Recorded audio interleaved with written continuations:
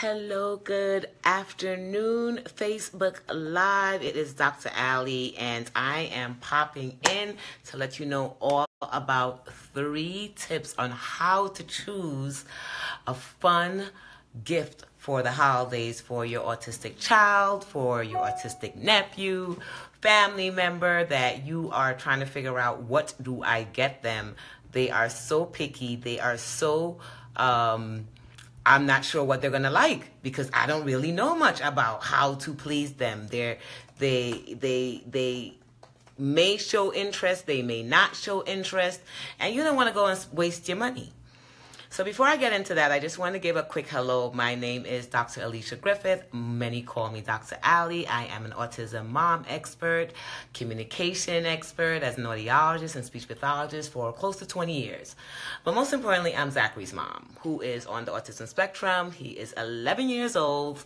And because of that, that led me to write the bestseller Amazing Gift, A Journey to Autism Acceptance. And I'm excited because I get to come in and share with you guys guys all the tips, tricks, techniques, tools, amazing things that my parents have been raving about for close to 20 years. So, what um, the reason why I came in today is because we spent the last seven days uh, last week and about 10 days ago because we had the weekend off Hey, Caitlin, how are you? Um, thanks for coming in. I'm going to make sure I'm in on my phone so that I can share it out to my other groups, my Accept Autism Fest group, because sometimes they don't get to see that I'm in. So I like to share it out so that they can come on in and get this information. We are getting ready right now for Christmas or for holidays. For those who don't celebrate Christmas, you have Kwanzaa. Some of you are doing Hanukkah at this moment. Hey, Terry, thanks for popping in. And one of the things that we're so nervous about with our babies is being able to choose something that we know that they're going to like.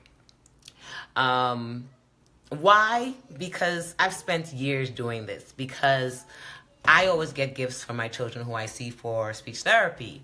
And finding the gifts for them was always something that my parents would come up to me, Hi, how are you? Absolutely. Yay. Caitlin's in to add some tips also. Another one of my amazing moms, Summer Rose, is watching. Thank you guys. Guys, make sure you put that little button at the bottom, you share it out because we want to make sure our community out there are learning. We may know some things, we always can learn more things, and then there are people outside of our community that knows absolutely nothing about how to get a gift for your kid. And I know because my mom always asks, I have other parents I see that always ask, I go into groups and they're constantly asking, what do I get this kid? That is showing me that they are not interested in many things. I don't want to waste my money and I want to make sure that they're going to open the gift on Christmas and be happy, right? So if any one of you guys are feeling this way, just make sure to heart it up on the side. Make sure to tap some some likes so I know that we're engaging in this conversation. As you're popping in, make sure you let me know where you're coming from. Are you coming from New York? New York's in the house. That's me. Are you coming from Wisconsin? I know, I think uh, Caitlin is from Wisconsin. I know a few people are from different places. So let me know where you're coming from so I can shout it out and give you guys some love from your hood. So the first thing I want to speak about is the first F. You know, I'm all about F, F, F, fun, fun, fun, fun, family, friendship. That those F's are just so important to me. And you want to choose a gift that's going to be fun. How is it going to be fun? It has to be something that they are interested in. Ask the mom, if you're the mom, hey, Green Bay, Green Bay's in the house. If you're the mom, make sure you see, well, what are the things that they like to spend time doing or watching? If it's, I know from mine, so I'm just going to speak from personal experience. Zachary loves Thomas. And yes, he's 11 years old, going to be 12 years old, and he still loves Thomas. When people ask me what to get him, besides other things which I'm going to mention, the first thing I always say, if you want to make him smile, give him something that's Thomas related. And it doesn't have to be a lot of money. It's just what makes him smile. Now, some of us are concerned. Oh, they're 12, they're 14, they're 15. I gave them Thomas four or five years in a row. So, who cares? That's what they like. And you, as a person, you want to know you're opening a gift that you like, don't you? when you're opening your gifts on Christmas, don't you want to know that whatever you open is going to be something that's going to make you smile? Type in yes if that's you, because I know for sure that's me. So I want to make sure that our babies have that same smile on their face. So let's not think about age. Let's not think about what they should or shouldn't be liking. Let's go first to what it is that they like. If they love SpongeBob, then give them a SpongeBob, SpongeBob top, toy. Hey, Sharonda, thanks for popping in. Once again, guys, make sure you share this out because our family members need to learn these things. It's so important. So the first thing we're going to do, of course, is fun. We're going to find out what are the what are the topics that they like, what are the shows that they like, what are the things that they're constantly speaking about.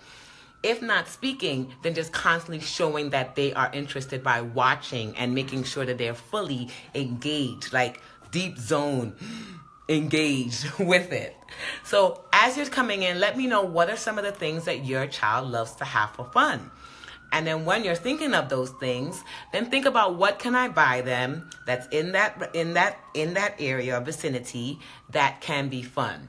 So I picked up a few things that I always have in Zachary's fun kit, right? So I have puzzles, you have all types of shapes and size. Once again, as your communication expert, I'm always going to tell us how we can do something that we can get more communication engaged, right? Then we have our popper game. Here's another popper game. We got this like maybe two years ago. Still in the box. Sometimes we just pull it out. We'll play with it. And then because it's a, it's a very low minute of interest, then we just go, you know, we put it back away. Whenever he's ready for it again, we pull it straight back out and it's something that we can play with. So I gave you two things that still Thomas related, still may not be age related, but still can be fun as can be. Because there's nothing as cool as popping this in, popping it out. You have numbers you can count. You have going in and out of the house.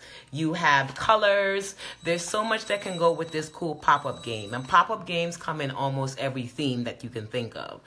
I'm not going to tell you where to get it from, but you guys all know where you can get that one place that you get almost every theme that you can think of in the world. Just type in the name. The third thing about fun is here is a numbers game. Here's another Thomas game that we got. So this is just what he loves. So I'll get something that is fun.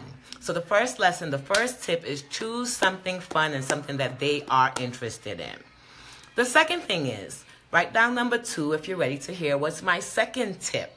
Write down number two. Come on, number two, number two, number two, number two, number two. Hey, Caitlin, we're not writing that down until they give us credit for that. Just kidding. But yes, Amazon is a cool place. Toys R Us is a cool place. You have so many different places that. Zachary, can you turn it down a little bit, please? I think he decided that I'm on, so he's going to get louder also. You know how they go. All right, and then he has his, his bell at the back because today he's totally into noise. Remember our noise day in our um, fun kit that we were creating? All right, so the second thing we're going to talk about is we want to choose something that has foundational information. So foundational information is education. You want to choose something, always have something that is education related as a gift to give our kids. Why? Because we are the primary source of education. If they don't see it and receive it from us, then they do not see the importance in it. Whether they like it, love it, want to see it, don't want to see it, make sure it's included. Another fun way of doing that is if it can be something Thomas related or something that they like related type of book. Leapfrog has absolutely wonderful um, educational games for those that are younger. You have board games things that they can still find some sort of educational basis with it. It doesn't have to get complicated. Remember, we're meeting them where they're at. We're not expanding them to levels that are unrecognizable, but we're trying to meet them at their level, but still help them to progress to that, that, that next level. So we want to choose foundational gifts, right? Gifts that has some sort of educational component to it. Parents, use, use, use the ability to be flexible in terms of what can be um, educational and what you don't consider to be educational. So that's the same thing. Found, the second thing is foundational. So we have fun, we have foundational, and the last one, type in number three if you're ready to hear the last one. Come on, guys. I want to see some hearts. I want to see some likes. For those that are catching this on replay, make sure you're playing this with us. Make sure you type in the three, two, or one and then make sure you're sharing it with those out there so they can learn these fun things to get for your baby. Number three, number three, we have have something that is functional. You, hi Jeannie, thanks for joining us. First time I'm seeing you, and thank you for the hearts. I'm I'm loving it. The hearts the hearts match my lips. Red, so I'm giving it back to you. There's my heart. So the third thing is going to be it has to be something functional.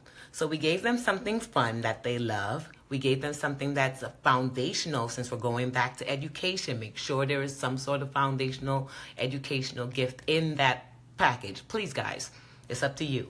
And the third one is going to be functional.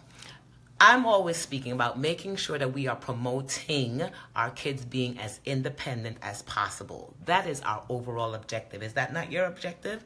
That's mine, and I know I've heard it from so many other parents.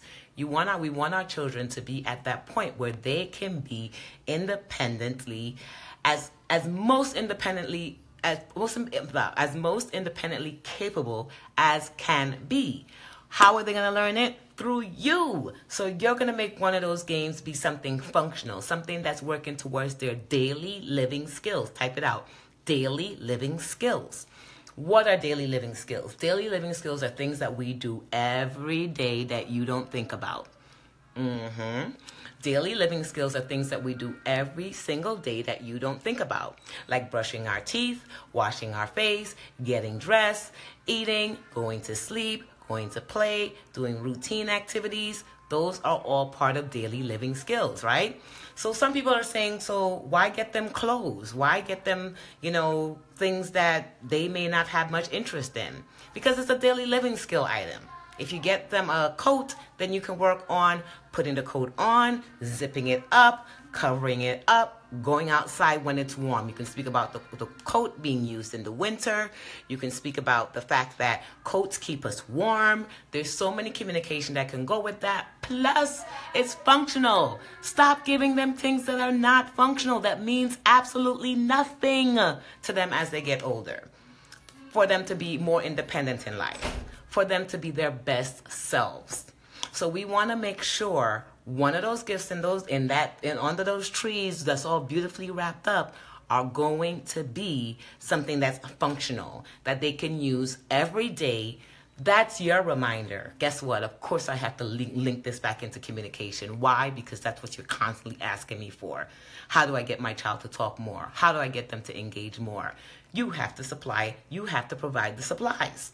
The supplies are things that they can use every single day that you can you can now include communication with this. Why? Because you gave it to them. So you're not just going to give it to them and like, "Oh, it's a coat." "Oh, it's just shoes." "Oh, it's just a toothbrush set." No, it's something that they're getting under the tree. That's now a reminder to you that this is now communication time. And guess what? It's still something functional. So we covered three bases, how to make three cool, three, three coolest tips towards giving fun activities and gifts. You know, I have to make sure they're activities because that's the educator in me and the coach. Because because I want to make sure that after December 25th, or whatever day you're celebrating, that it still serves a functional, a communicational, a fun purpose, and a foundational purpose. Now, those are the gifts that you want under the tree. If you liked any of the tips that I shared with you guys, make sure you're sharing it because this is not only information for you, this is information for others out there that just need to learn how to get those gifts for their kids. You need more additional tips, and of course, you can always reach me at draliciagriffith.com or info at draliciagriffith.com. This is our time to review all the things that we're getting into. Make sure you are anytime, Summer. You guys know I look forward to doing this and just sharing the information that I have. If there are any questions right now, feel free to pop in your questions. I'll look at some now, and some of them I will definitely look at them later and answer back because you all matter share, share, share, and make sure you heart it up because hearts let me know that, guess what, Dr. Ali, you're saying something that I just needed to hear today. I love you. Thank you for joining, and I will catch you guys later. Make sure for those that will be joining me in January. January, I'm so excited because I'll be starting my Ignite Your Amazing Fest, which is five days of us just getting down to our most authentic self as parents of kids with special needs or with autism. And we're making sure that we are getting ourselves ready for the new year. And then, of course, we have our Ignite Your Amazing Masterclass, which you know, those that are interested will find out and they'll they'll get that early access. Oh yeah, I forgot to mention. There is early access now with a high, high discount of getting into it if you take action today to attend our Ignite Your Amazing virtual masterclass that is available starting January. So if you're interested in finding out more, just type in me, me, me. I want to know more about IYA, Ignite Your Amazing. And I'll hit you up and I'll send you all the information. We'll get you in there for that ridiculously low price. So low, I'm not even mentioning it because I don't want everyone running towards it. I want to make sure those who are who are really in there are the ones who are ready to be ignited in 2017. I love you guys. One of the tips I have is also ask your child's therapist for gift ideas, especially when it comes to functional gifts. Absolutely.